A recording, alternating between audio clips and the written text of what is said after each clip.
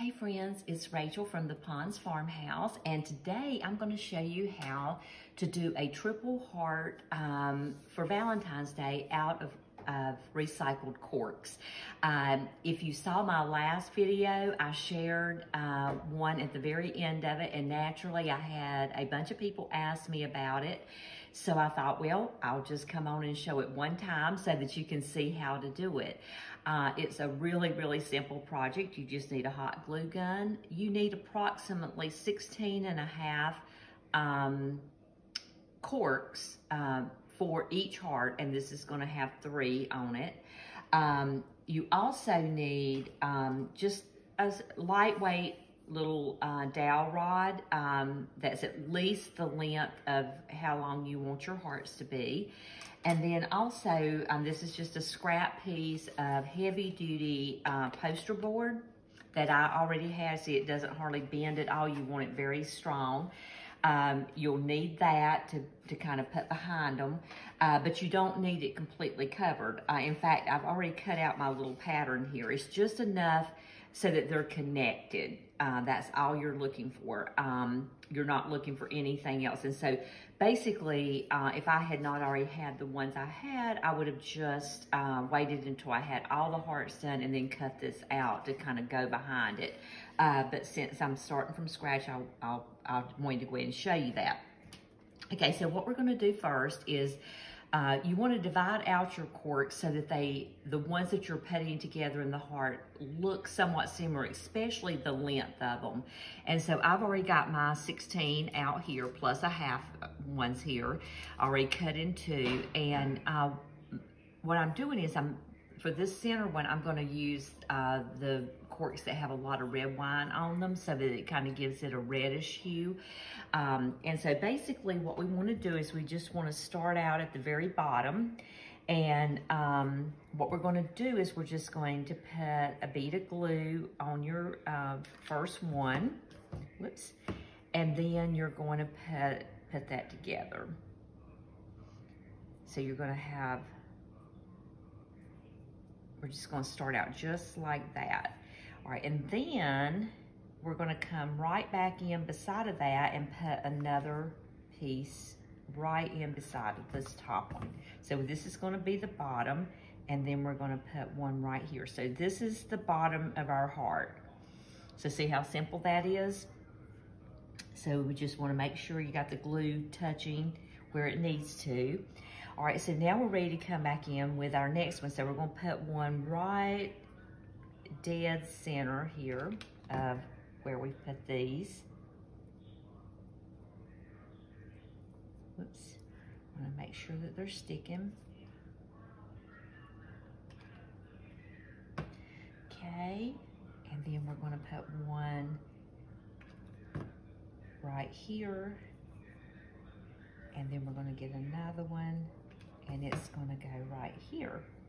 So now, see, we've got three built up okay? And then we're gonna do another one that's gonna go right here. I've got my hot glue gun so hot, I'm gonna turn it down because it's so hot that it, they're not wanting to adhere real quickly. So we're gonna put another one kind of in this little valley.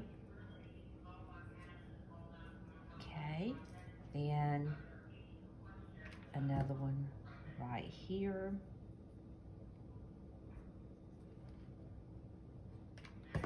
Another one right here. Okay, so now we've got our, we've got four uh, uh, levels, and now we're working on the fifth. And the fifth one is a little different because we don't want to fill in this center part. So we're going to put one right here and then one on the outer edge right here. Same on this next side. Oops, this one's turned upside down. There we go. One more on the outer edge. And then we're gonna come in right here in the center and we're gonna put like a little half of one. So we're just gonna set this, put some of the glue on here so that it adheres. And we're gonna stick that right in the center there. And then the last step is just to put the top of the heart together. So let me just kind of show you what we've got going on so far. So we've got, got five rows with a half of one in the center. And then we're going to top it all off with one last row right on the very top of this.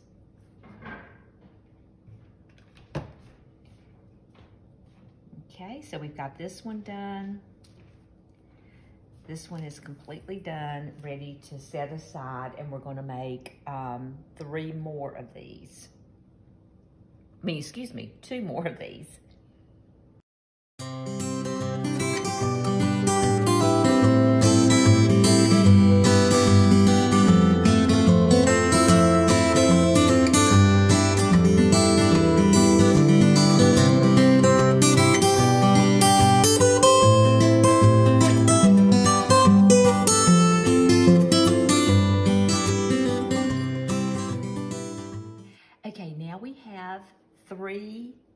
Cork hearts finished and um, they all look adorable uh, in their own right.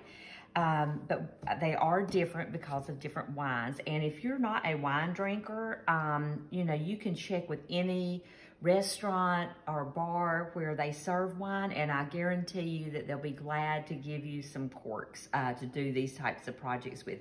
So um, I was running low on any of the ones. These are actually plastic corks, but I did them all together, so it's gonna be fine. Um, they'll still look unique. So what we wanna do now is we've got um, our corks done. This is the right sides of them. And so we're gonna turn them over and I'm gonna set them on the edge of my countertop here so that, um, that they're all lined up with their, the cork, corks touching here and, and that they're even.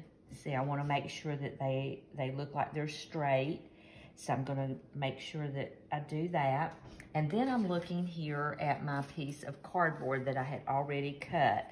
And I need to make sure that it's gonna be hidden behind all of this. And it looks like I'm gonna need to cut a little bit more out of this center here. And this is a little hard spot to cut, so I'm gonna try to do that gently. Um, but just get a little bit less um, in there. And then look at it one more time. Okay, I think it's going, whoops, maybe not. That one slipped. Okay, I feel like I need to cut out a little bit more on this little edge here.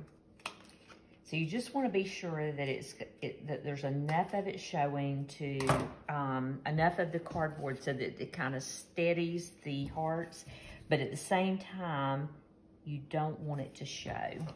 So every time I look at it, I see another place that I think it might actually um, be showing.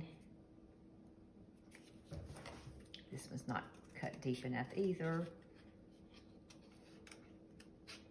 Sorry about that. I thought I had done a pretty good job to begin with, but obviously I had a little bit of work to do. Okay, so what we're gonna do now is we're gonna go ahead and attach this. So I'm just gonna put quite a bit of glue all over the back of, um, of this. Need to do it fairly quickly because you don't want it to dry up on you before you get it on there. Okay, and then I'm gonna turn it back over and we're gonna go ahead and put it onto the back of these hearts. And we wanna make sure that they are still even and straight as we do this.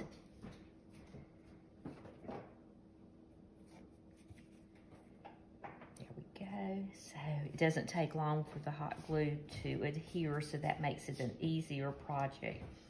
Okay, then the last thing I'm gonna do, just to give it a little bit more of a steadiness, uh, to be sure that we've got it uh, where we want it, is I'm gonna put just a little bit of this uh, wooden dowel rod onto it.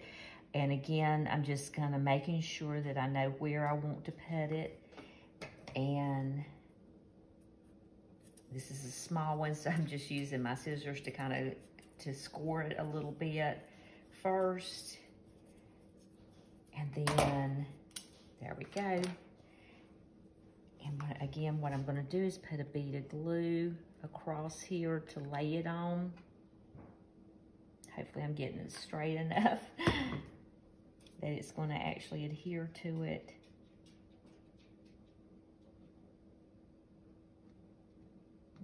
Okay, get the little hairs out of the way.